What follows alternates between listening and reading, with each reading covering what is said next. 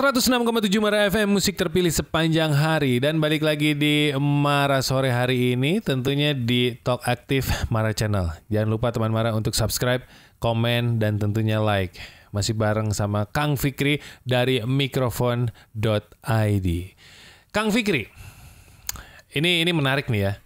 Kalau tadi saya sempat singgung sedikit di masa usia 2010 sampai 2022. Hmm ini di mana sempat ada di era konvensional kemudian beralih ke digital. Karena ada beberapa orang yang bilang nah udah digital mah di tahun 2000 wah mungkin geus di 2000 genep 2004 berita informasi semua udah semua versi digital sudah ada gitu. Hmm. tapi ada yang bilang enggak digital itu mulai 2010 enggak 2013 kok. Nah itu.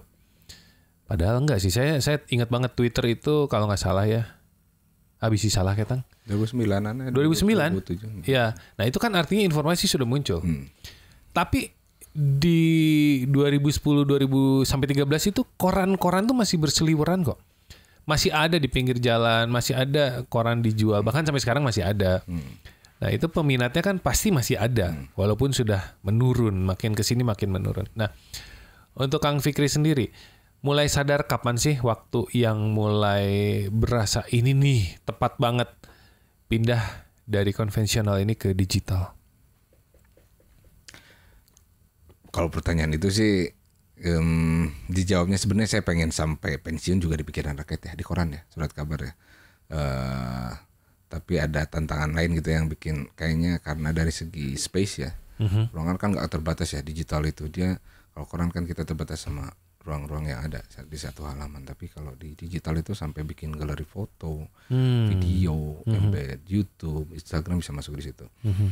uh, tapi kalau soal betah nggak betah oh betah banget sebenarnya dan sekarang juga uh, pikiran rakyat masih survive jadi yang membedakan aku sih masih masih optimis ya ke depan bahwa ini mungkin si siklusnya bisa membaik lagi ya untuk cetak asal memang emang lagi perjuangin teman-teman pikiran rakyat sekarang mm -hmm. gimana kualitasnya ini benar-benar terus dijaga tuh makin baik gitu. Masih dijaga kan sekarang. Iya. Uh, di era ya post truth dan lebihnya itu. Sekarang kan sekarang uh, seliweran di digital juga itu benar tuh berita teh? Hmm, hoax hmm. atau enggak gitu. iya betul. Maka aku sih masih saya kalau saya masih lihat bahwa suatu saat semua juga akan balik lagi ke akan balik lagi. media-media yang nama dan mungkin semua balik lagi ke koran karena saking saking rumitnya untuk membaca mana hoax mana bukan. Mm -mm, betul betul betul.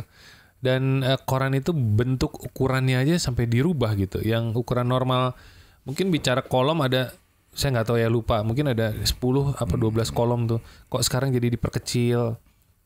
Ukuran lebarnya juga diperkecil gitu. Apakah itu memang memudahkan orang zaman sekarang karena tangannya cuma segede ya. gini enaknya gitu atau dulu kan kudu kio gitu. Hmm. Terus ada sesuatu lah di balik kita buka koran itu eh keren. Kalau saya sih dulu gitu.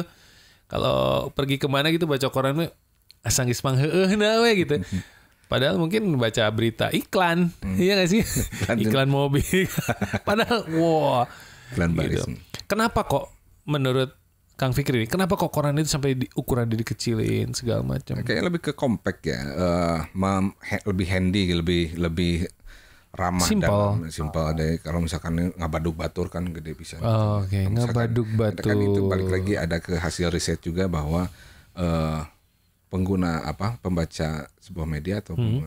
itu dilihat dari uh, transportasinya jadi ketika orang-orang ini di sana ada kereta, rel MRT, uh-huh. orang bisa lebih handy gitu baca buku. Oh, Oke. Okay. Tapi kalau misalkan kayak Bandung dengan aku transportasi masalnya motor sendiri dan mobil sendiri, fokusnya nyetir hela. Iya iya.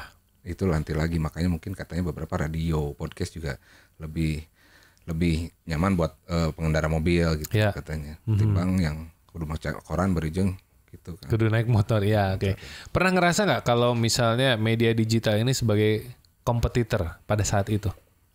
Enggak karena karena di pikiran rakyat juga kan ada divisinya khusus. Oke, okay, jadi masih tetap masih tetap dua ini berjalan bersamaan. Ya dan uh, yang saya rasakan sih di redaksi juga kan di kita juga pasti akan uh, apalagi harian ya mm-hmm. punya punya punya tema khusus, punya beberapa fokus isu yang makin ke depan makin lebih baik gitu. Mm. Kita karena kita banyak belajar gitu ya, gimana cara cara bikin uh, satu tema satu liputan khusus yang mungkin nggak ada di media lain Oke. dan termasuk juga di online. Ada nggak sih eh, koran di era dulu, kemudian di masa digital ini, terus dia mencoba beralih ke digital juga. Koran atau payu, si digital ini juga nggak bisa bertahan. Akhirnya dua-duanya ini drop dan bangkrut. Ada nggak sih? Oh nggak tahu itu. Nggak tahu atau nggak mau disampaikan, nggak mau disebut. Nggak juga dapur orang dan Oh, dapur orang nggak enak juga ya. Mah mikrofon.id we bercanda. Aduh, sampai ke- gitu. Tapi sebenarnya ada mungkin ya.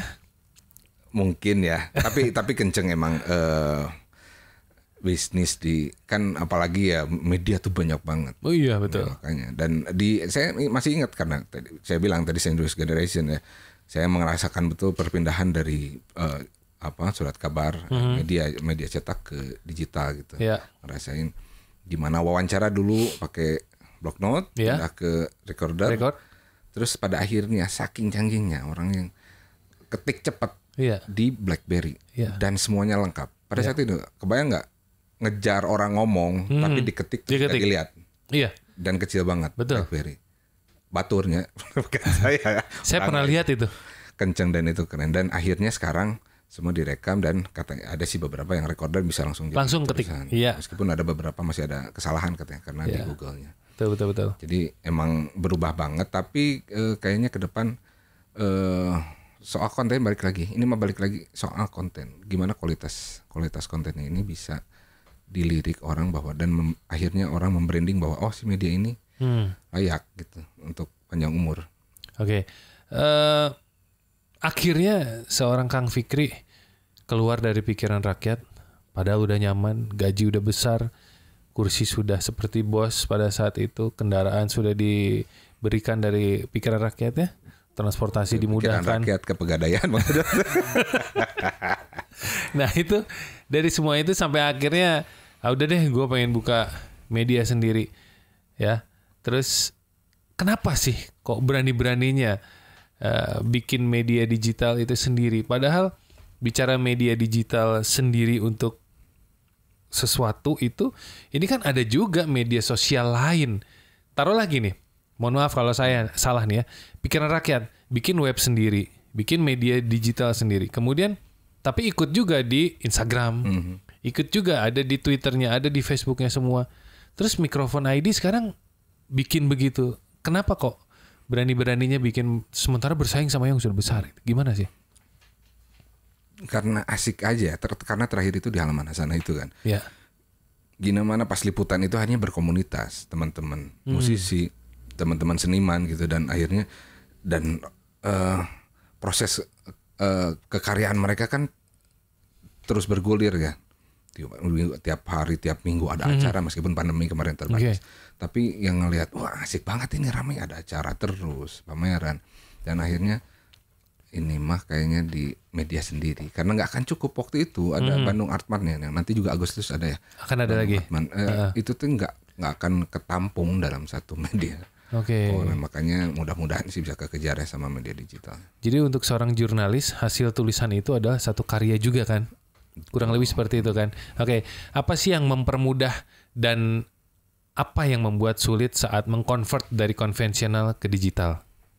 Hmm, soal ruang ya Aha. soal ruang pasti lebih luas lebih enak Eh, di digital juga lebih apa kemudahan sharing ya Hmm. tinggal lempar link tem- tinggal di repost di, di reclaim gitu ya di beberapa media sosial sementara kalau di koran kan eh, ya harus difoto gitu misalkan. kan dulu misalkan ada narasumber eh, udah t- tayang belum Eh, coba dong lihat Mhm. dilihat ini kan paling difoto Atau Iya. misalkan dulu pada akhirnya ada e-paper ya Hmm. bisa dikirim e-papernya tapi kalau link itu kan ya beberapa kan ada pembaca yang enaknya di handphone di Iya. iPad Eh, pada akhirnya butuh dan ketika mereka suka ya mereka bakal di share dengan mudah gitu Mhm. tinggal tinggal copy link terus dibagiin aja Oke, Eh, sebelum saya membaca WhatsApp yang udah masuk nih teman Mara, eh, yang pasti saya ingin tanya juga soal berita yang mungkin ini selalu jadi pertanyaan banyak orang karena bukan hanya di media konvensional,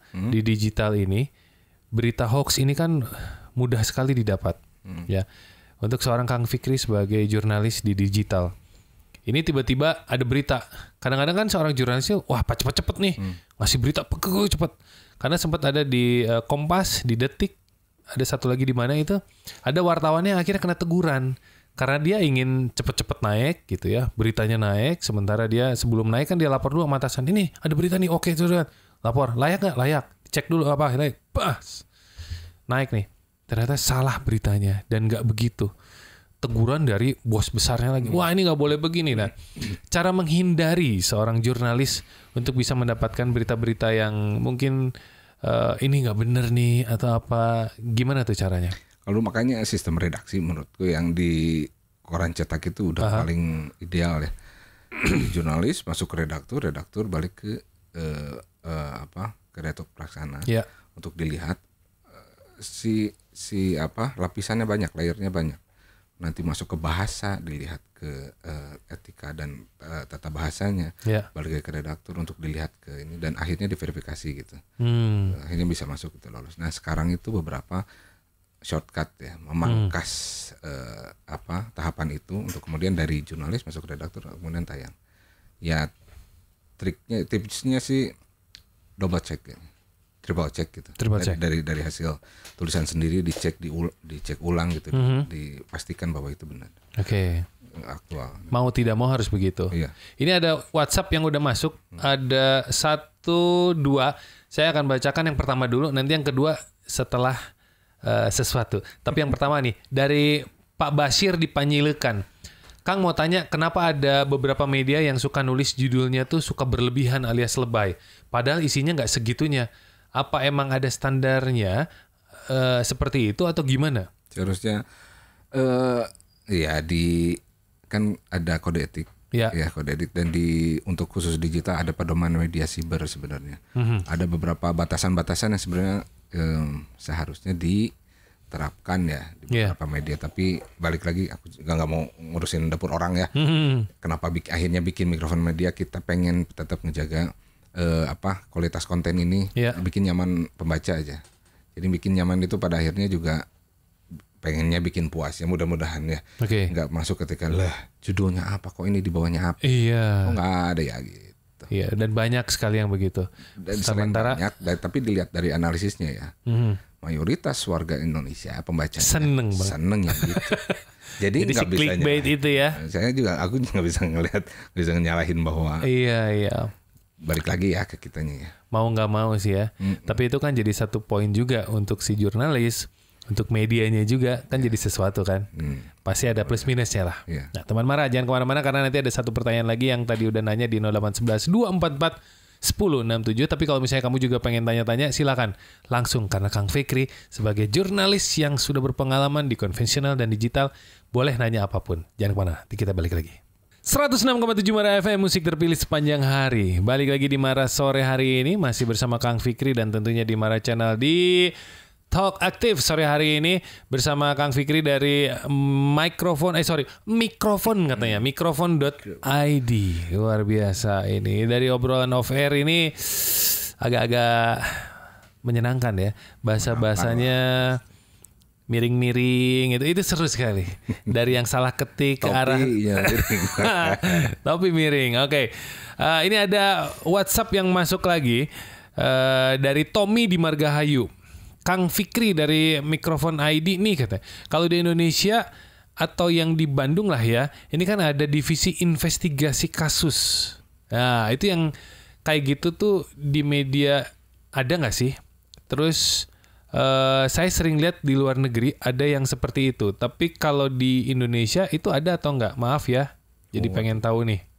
banyak dan seharusnya hampir semua media ya di apa investigasi itu karena satu isu satu masalah kan nggak bisa cuma muncul permukaan antara oke eh, mesin parkir terkendala kita nanya ke pemerintah kota terus dijawab sama eh, apa dari pakar gitu udah beres kan nggak akan berhenti di situ gitu Oke. banyak sisi lain yang mungkin eh, kita ah bener tuh nya si pemerintah itu ya, kita dalemin ke mana cari cari tahu Oke. dan kayaknya hampir semua di olahraga juga banyak yang harus diinvestigasi ya. Eh, politik apalagi ekonomi gitu. banyak banget yang kayak Hiburan dan Iya. gibah-gibah begitu ada juga berarti. Lambai Tura itu itu- dengan katanya handphonenya di mana-mana gitu Iya. kayaknya melebihi CCTV di sub di kota Bandung gitu. Itu investigasi sama. Bisa dikatakan seperti itu. Nggak tahu saya nggak ikut-ikut. Karena Kenapa takut salah atau gimana nih? Dapur orang. Oh dapur orang. iya. Oke, kalau dapur sendiri, apa sih ke depannya yang akan dijalankan oleh mikrofon.id? Insya Allah akan banyak acara mungkin. Aduh susah di Bandung teh. Satu acara. akan banyak acara. Tapi yang yang paling deket ini eh, yang pasti kita teh bakal nge apa mengulas banyak banget acara. Mhm. Ada yang terdekat sih Bandung Artman ya. Ada tadi juga eh, ada acara pameran di Ruang Dini, kemarin Oke. Galeri Hegarmana. Ada banyak banget eh, acara di Bandung yang soal seni seni rupa gitu ya. Iya. yang bisa diliput dan bisa dibagikan ke eh, pembaca dan yang musik belum yang rilis album Oke. Banyak banget dan ini menyenangkan. Oke, dan mungkin nanti Titans bisa diliput dan diinformasikan juga di mikrofon.id mungkin. Ada tadi syaratnya. Aduh. narasinya dileng Oh, maksudnya narasi, yang yang kuat yang keren makanya karena biar itu yang bisa ngebantu kami Eh, urusan itu mah gratis ya pemuatan cuma Oh, siap. bantu kami aduh narasinya yang keren dong Iya. kita kita Informasinya yang baik gitu, yang yang pesannya bisa bermanfaat atau gimana? ya misalkan musik dia rilis eh, mu- musik eh, apa eh, musisi pop gitu dia rilis ketika ada cinta atau eh, drama atau patah hati Mhm. ada sisi lain gak sih yang jangan sampai "Ah, ini mah kayak lagu lama Biasa pisan itu jangan. nah itu yang dibutuhkan kita Oke, beda lah ya dari yang lain gitu. biar ya biar rasanya juga beda Oke, ngomong-ngomong mikrofon ID itu berdirinya sejak kapan? Wah, 2020-an lah. 2020. Ya, 2020. Berarti pada saat awal pandemi mungkin? Ya, benar. Oke, Pandemi. pertengahan 2020. Eh, lah, kalau nggak salah. Oke, baru berjalan dua tahun ini ya. Tahun. Luar biasa. Sekali lagi selamat mudah-mudahan nih mikrofon.id ini bisa membawa eh, satu pencerahan untuk masyarakat. Amin. Informasi yang disampaikan juga pastinya bisa bermanfaat dan bisa jadi sesuatu lah. Jangan sampai berita-berita yang seperti mohon maaf berita-berita yang menurut saya nggak penting nih cuman ngomongin sesuatu yang aduh ini naon sih gitu ini apa sih biar aja media-media yang lain ya Ya. Oke, kalau bicara dua tahun sudah pernah ada eh, event besar yang dilakukan mikrofon ID misalnya, oke ada op- eh, apa eh, launching mikrofon Enggak, ID. belum, belum. Belum. Karena eh, wah, pandemi ini Iya. bikin bongkar pasang Artinya sekarang sudah mulai bebas akan dong. kayaknya menuju Menuju. kejayaan. Asik. Mungkin nanti tahun depan namanya mikrofon karena makin besar. Coba Karena ini nanti. masih kecil jadi mikro. Oke, Kang Fikri sekali lagi terima kasih waktu dan Sama-sama. kesempatannya. Tapi sebelum pulang saya ingin ngasih beberapa kuis untuk seorang jurnalis yang ada di depan saya yang sudah bisa dibilang menurut saya ini jurnalis senior ini. Jangan atau Oh jangan jangan jangan. Oke oke oke lah baik. Pilih salah satu, Hmm. kemudian kasih tahu alasannya ke saya dan jawabannya harus cepat. Oke? Tuh. Ini trivia menarik lah. Lima menit juga cepet lah. Asik. Biasanya dua menit ya. Kang Fikri, koran atau majalah? Orang. Kenapa? saya saya mikir rakyat itu sih lebih en, lebih lebih banyak ini kali ya memori ya di, di Oke, karena dulu pernah kerja di koran. kagak jadi koran Instagram atau Facebook? Instagram Musisi indie? alasannya dulu atau itu Oh, Oke deh. eh, Instagram atau Facebook ya apa? Instagram lah Kenapa? lebih receh Lebih receh. Facebook kan banyak yang ini eh, Apa? berisik politik dan agama Eh, Gini, kalau kalau dari sudut pandang saya, Nah. Facebook itu punya pasarnya sendiri. ya saya nggak di pasar itu saya pasar yang modern Oke, jadi di Instagram. Tapi nggak mungkin main. kaget di sana mah Tapi masih main Facebook. nggak udah nggak Udah nggak. Oke, makanya alasannya pilih Instagram. iya Oke, titik kalau begitu. Musisi indie atau musisi major label? Hmm, jangan gitu atuh nanti Eh. Pager-geger. Eh, enggak, ini jawabannya harus telepon mah bauan euy nanti kayak gitu. Titans indie atau major? saat ini indie. Hah? Saat ini indie. Kenapa? Nanti ketika major ya Whatever, kita pernah di major, kita pernah di indie, kita pernah major, dan sekarang indie lagi. saya- Ya kalau mau balik-balik. Iya. Ya gimana gimana wave aja gimana gelombang. Iya. Tapi kayaknya pilih indie. Pilih Indi. Oke, titik. Alasannya. Enggak, saya nggak perlu alasan kalau itu. Ulah bau Cukup tahu Oh, saya. Major juga oke, cuma saya butuh butuh mendongkrak. Oke. Pre- Teman-teman indie. Eh, lebih memilih radio atau podcast? Radio. Kenapa? Karena di radio lah. Oke. Podcast Nanti kalau besok ada asing, jangan dukung. Oke, kalau besok ada interview atau ngobrol bareng di podcast Podcast pilihannya. Rama, podcast. Eh podcast Mara, bukan pilih podcast. Kamu salah ngomong tega banget sih. Enggak, enggak. Kalau misalkan radio emang emang lebih handy ya. Oke. Di mobil. Oh iya. Kalau podcast enggak ya. Eh, so-so sebenarnya sama menurut saya. Tapi karena saya nggak nggak ngedownload si aplikasi itu karena nggak ada jadi nggak ada podcast. Beda aplikasi untuk streaming. Oke. Punya musik. Spotify nggak di handphone? Enggak. Pakai YouTube Music. Itu musik Awas ada juga. Hah? Ada juga podcastnya. Tapi belum cari eh, podcast yang sahanya. Baru, ada, baru kenalin beberapa sih, cuma enggak lah nanti aja lah. Oke. Website berita atau sosial media? Sosial media. Koran atau website berita? Koran atau. Membangun web media atau Eh, membangun website berita. Yes. Ya punya website berita lah punya saya. Iya, terus kenapa tadi? itu dibalikin. Oke. Membangun web media atau membangun YouTube channel? Dua-duanya eh web media dulu lah. Salah satu. Iya, web media dulu. Web media. Gen Z atau milenial? Ah, saya sayang semua generasi. Semua Millennial, generasi. oke. Milenial. Info gosip atau info politik? Gosip lah. Gosip. Kenapa kok Ayo pas bagian gosip minta alasan ini. Dari Tadi saya di skip ini gimana ini? Kenapa saya pengen tahu kenapa memilih info yang Karena lebih saya pernah gosip banyak di politik ya, berita politik kayaknya tuh aduh berat ya beban ini. berat. Tapi kalau ternyata di situ ada cuan-cuan, Cuan-cuan nyonya-nyonya juga nggak apa-apa, nggak peduli udah berisik. ini ini ini kalau ngobrol sama jurnalis bisa nembak juga ya.